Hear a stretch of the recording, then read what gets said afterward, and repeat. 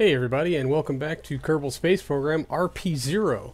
We're out here at the flight hangar at uh, Kodiak, slapping together a new aircraft. Thinking about the next leg of our sightseeing tour, which, uh, best I can figure, the closest relatable distance is about three times, maybe four times the length of our previous journey.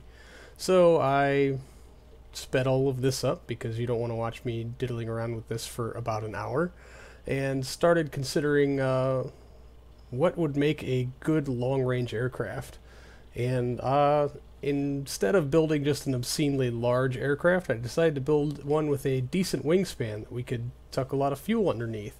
And I decided to go with a single engine design this time for fuel efficiency purposes, uh, more so than anything else. We don't really need it to be fast because I speed the footage up in post. And that looks terrible. I'm really just not happy with that. So let's redo this tail section real quick. Um, so anyway, uh, do you guys like the sightseeing tours? Um, I kind of like doing them. They're relaxing, they're easy, and I really enjoy building uh, aircraft. Uh, I like building rockets and spacecraft and stuff too. This is the the point of the game, but uh, I really do enjoy throwing together airplanes. I think they're a lot of fun to build and they're a lot of fun to fly. And when you get them right, man, it's just it's a super satisfying feeling. Because anybody who's built an airplane in this game knows exactly how frustrating it can be sometimes, especially when everything goes horribly, tragically wrong, and you just can't get the design that you like to agree with the aerodynamics and FARs being a pain in the ass. But uh, every now and again, you get something good as you saw there briefly. FAR is very happy with this, and so we can paint it and we can start uh, adjusting our fuel levels. Now, albeit this aircraft as it sits right now will certainly not have enough fuel to uh, make any part of this leg. So we're going to build on some external drop tanks. After we get them shaped appropriately and sized correctly, it's a bit big, let's size that down. And then we're just going to copy it over a bunch of times.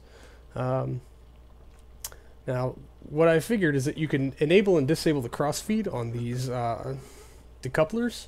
So if I can just stage these tanks and use them one at a time, uh, thereby like slowly lightening our load instead of just all at once like last time, then uh, maybe it'll buy us some range and some time.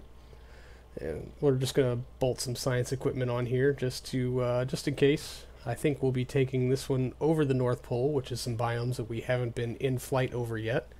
And the name, Name Me, because uh, I want you guys' help in naming this aircraft. I tend just to do things in designations, and that's a little lame sometimes, and I'm not very creative with names. So uh, if you guys could help me out, comment below on what you think that maybe we should call this little guy.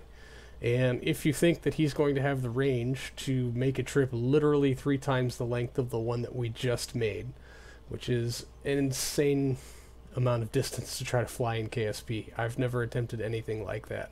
But the good news is, is even with all of this weight tucked under the wings, we get off the runway pretty easily after uh, not even all that long of a run. And we still maintain a uh, good chunk of our maneuverability here. I'm pretty happy with all of this, although if we're going to use these tanks in segments, we should probably stage them as such. That's something I should have corrected. I also should have corrected all of these flight sur uh, control surfaces being used for everything, which is what they're currently doing. That is uh, inevitably going to give us some instability issues as far as flying in time warp, but I can correct that before we build the actual aircraft. We'll just uh, double check our utilization here. And it looks like I forgot to put fuel in the three outer drop tanks. Awesome. Well, we'll have to perform some more testing then. Oops. Alright. And we'll just check our series staging there. The center one's dropped first. That was not how I wanted it to be. But again, we'll fix that on the next pass. But uh, as you can see, we've got a, a little of that uh, sway wiggle. That's all the control surfaces kind of fighting with each other. And so once we correct the assignment on what control surfaces do what, then that should uh, correct some of those issues. But by and large, this aircraft is pretty stable. Val's just uh, putting it through some of its paces now. But the, guess one of the last real checks is, is how stable will it be at far less throttle? Will we be able to keep a nose up pitch? Is basically, will I be able to put this thing in time warp and just walk away? That's the real key. And look at that. Straight and true. Flies like a dream.